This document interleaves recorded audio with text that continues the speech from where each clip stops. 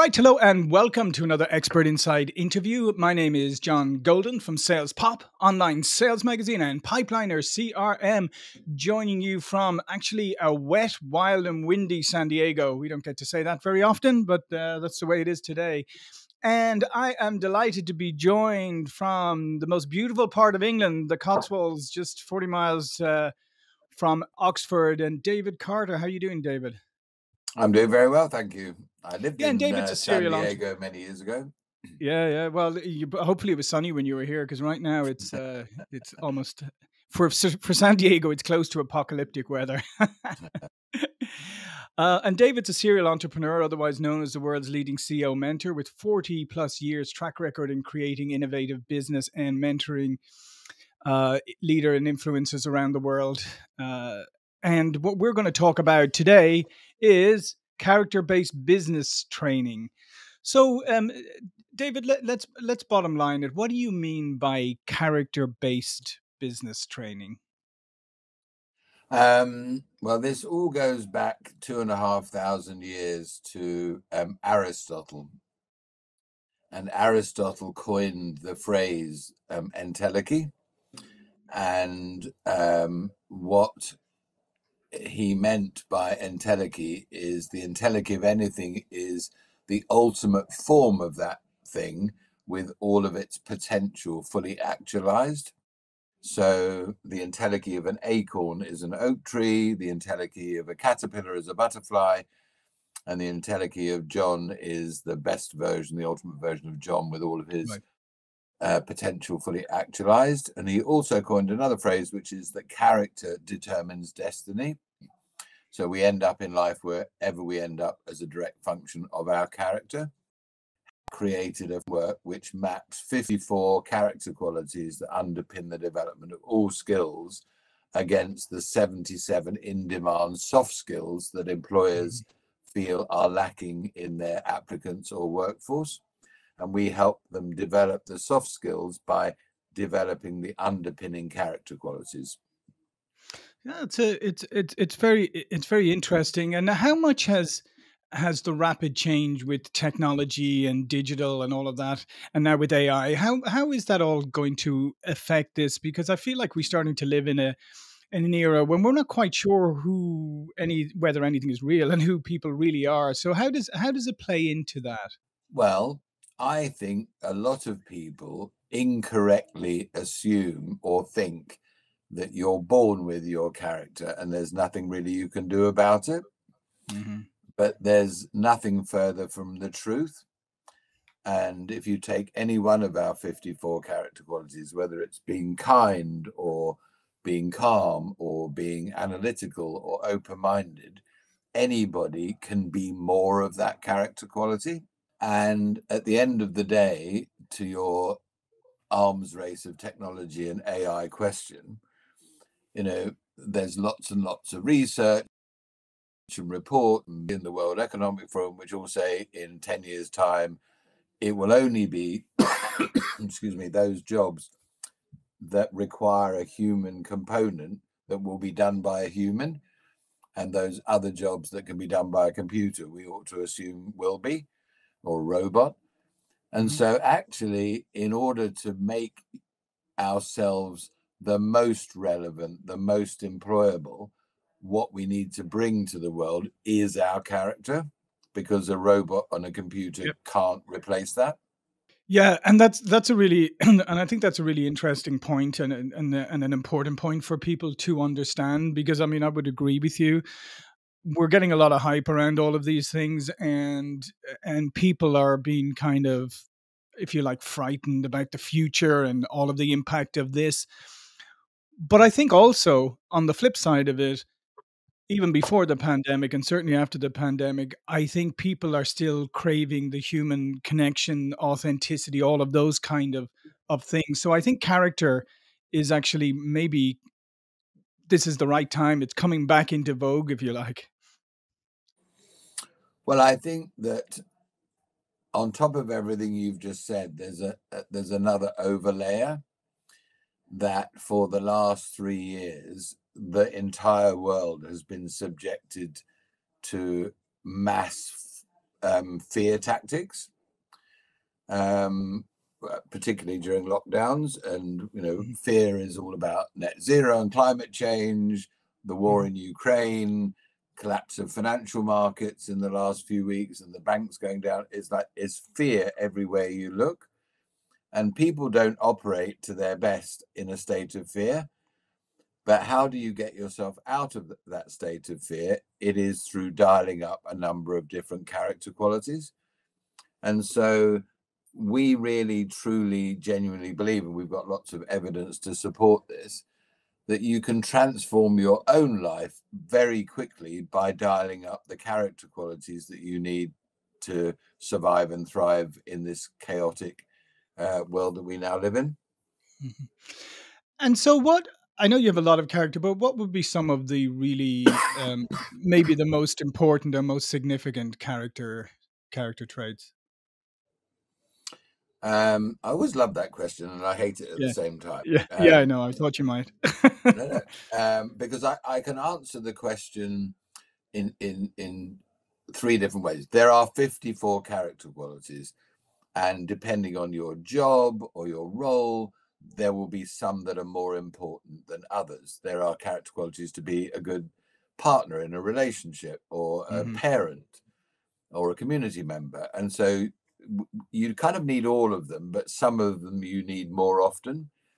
Um, I think also if we look at all of the data from employers who are on the path to becoming a company of character, they will choose more often than not a dozen of the character qualities that they'd like all of their people to be and they might be things like being accountable responsible disciplined organized efficient reliable um, but actually if you were to ask me personally you know, mm-hmm. if i had a, a, top three that i think are probably the most important for everyone uh, and they're certainly the most important for me I think I would choose uh, being curious, uh, being open minded, and probably the most important one is being kind. And so, if I feel I am kind to everybody I ever get to talk to, or meet with, or interact with, uh, that helps me be a better person. Uh, if I'm curious, um, I'm going to question what I read in mainstream media and the narrative that we're all mm-hmm. presented with. Um, and if I'm open minded, I can sit and talk to someone who has a different point of view to me and still listen to them respectfully and learn something from them and perhaps alter my point of view. But it means that I can still be friends by people who have a completely different point of view to me as long as I'm open minded and kind. Yeah, no, absolutely. I, I, couldn't agree more. But um, the curious one I, I do find is, I think that's that's a really critical one now because I I feel like a lot of people have lost the sense of curiosity because they're bombarded with all these social media stuff and you know everything is short and bite sized and all of that kind of stuff that people have lost the ability to be curious and actually say, hmm, I wonder what's really behind that. Or, and I think in both in life and in business, I mean, intellectual curiosity is, incredibly is incredibly important if you ever really want to get behind issues and understand things. Um, I think curiosity is essential, and I think, but it is combined with being open-minded.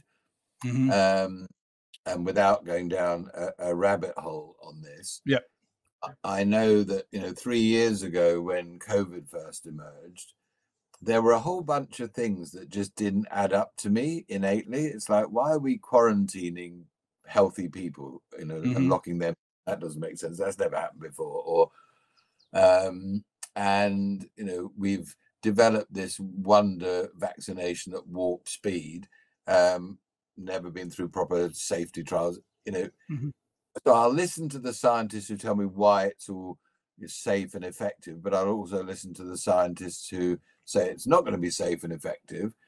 And I'll be curious about what are there any motives behind either of both of their messaging that I ought to think about as well. Um, mm-hmm. You know, in the same way that turkeys don't typically vote in favor of Christmas, you know, drug companies are always going to say, well, our drugs are safe and effective and they've been through proper, you know, safety testing trials.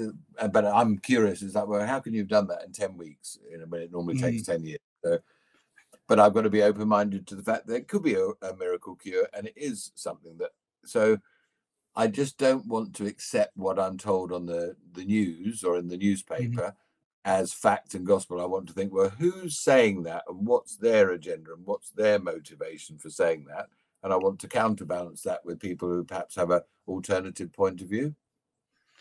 Yeah, and and you know, I'd, uh, pretty radical nowadays that uh, that suggestion that you're actually open-minded and look at both sides of of the of the argument.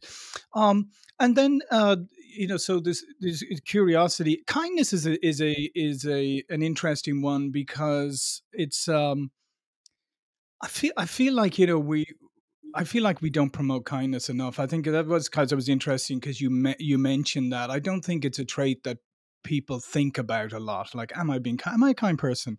Um, because we're all in this kind of distracted rush, you know, running around the world, virtually running around the world. I think uh, it reminds me of a, a story in my childhood. Um, I, I, had two younger sisters, um, and I remember a conversation, I think I was about 10, with my mother. And my mother said to me, You really do need to learn to be more gentlemanly. And I thought, Well, okay. Um, why is that? And so she explained to me why I should and what the benefits to me would be. And I thought, actually, I, I quite like that idea.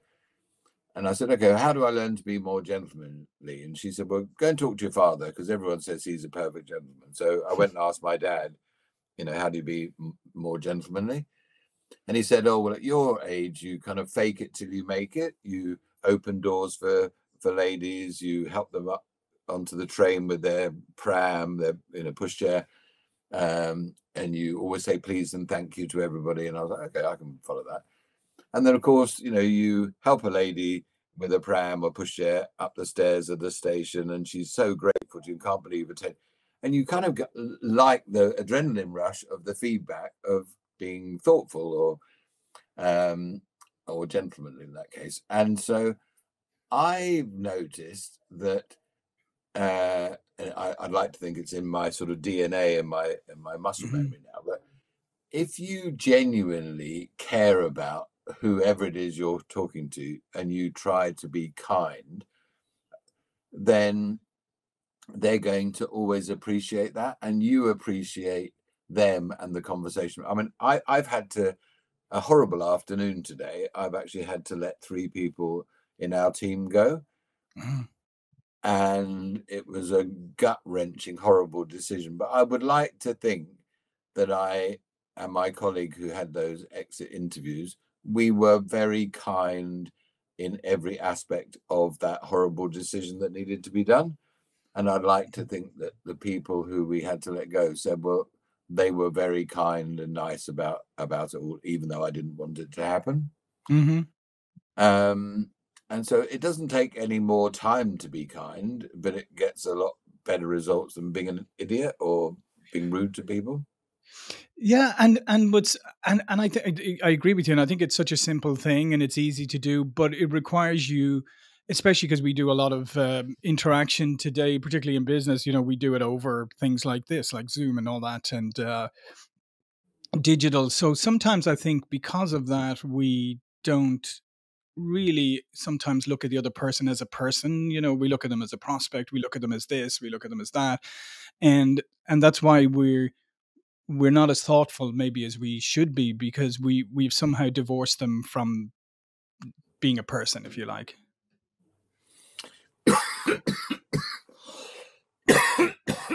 I'm sorry i do apologize. Oh no worries.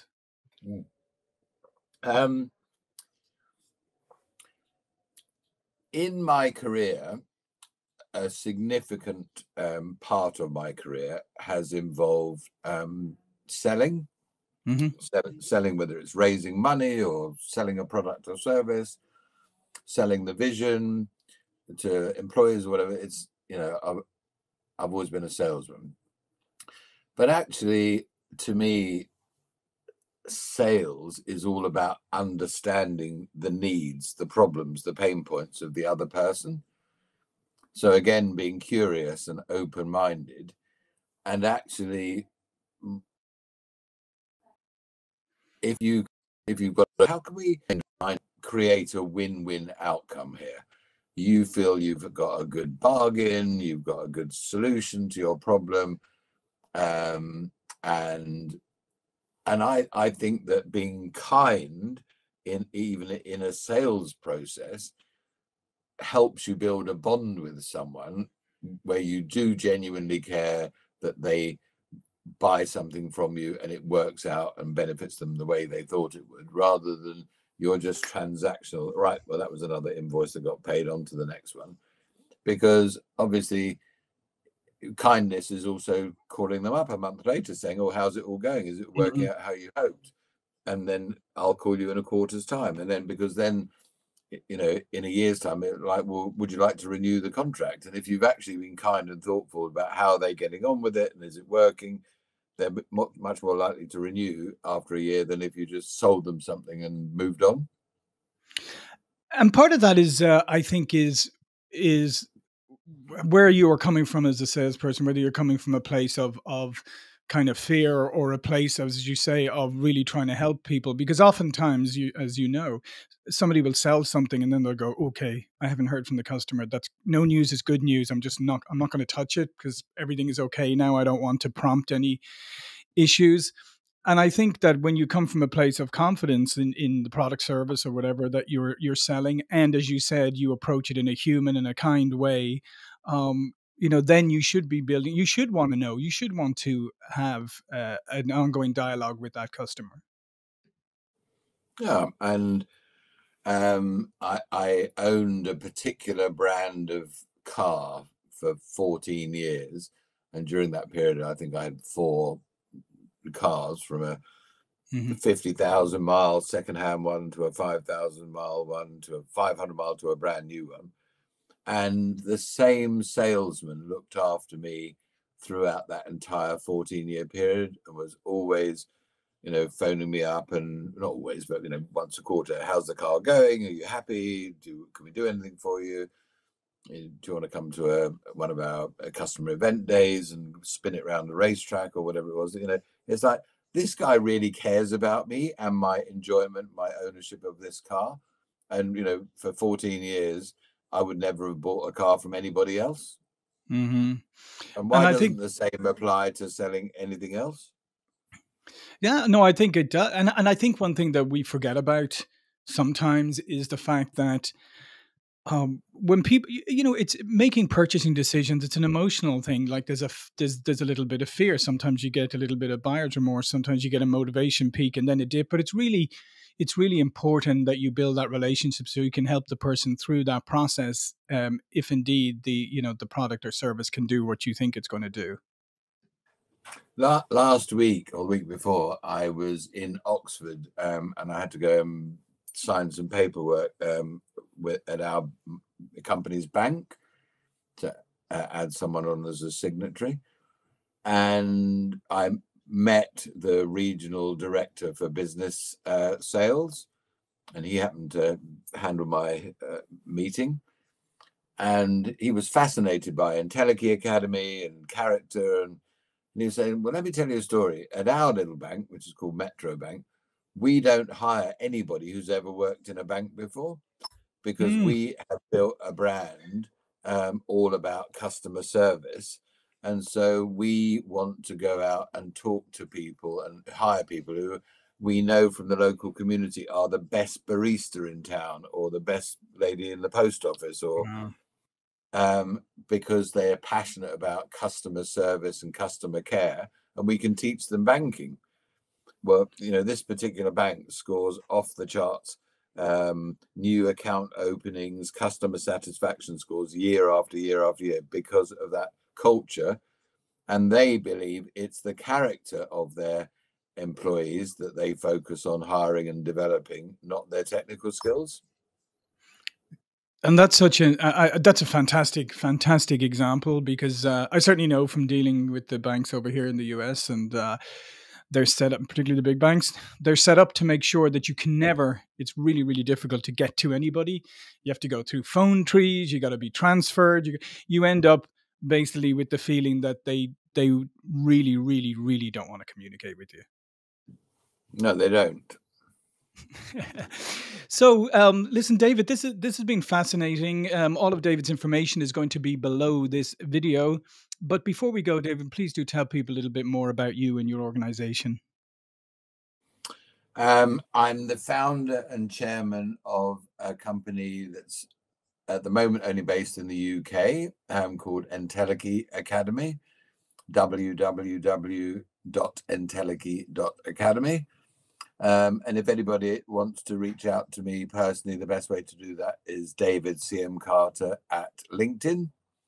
Um, so if you look up David CM Carter, there's only one of those in the world on LinkedIn. Um, and what we we've launched a ex- very exciting, innovative, unique, disruptive business this year in the UK, which is helping organizations become companies of character. Mm-hmm. And we believe we can show how developing some, not all, but some of the key um, 54 character qualities can move that company into the sort of top right hand quadrant where their people are delivering the results because they're living the character qualities and so it's it's optimizing an individual's performance in life and an organization's performance through developing character.